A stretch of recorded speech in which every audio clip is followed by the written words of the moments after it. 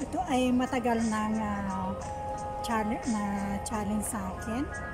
Yung iiyak daw ako sa harap ng camera. So mag-iisip muna ako ng nakakaiyak guys. So challenge accepted. Pero unknown, hindi ko pwedeng sabihin daw pangalan. So, I will try my best. Light, camera, action!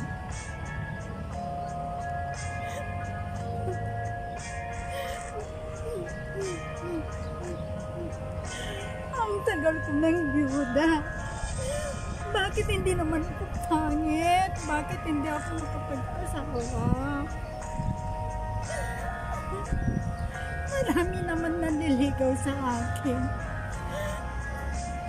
Kaso di ko sila tahan. Nga gagawin ko sa puso ko?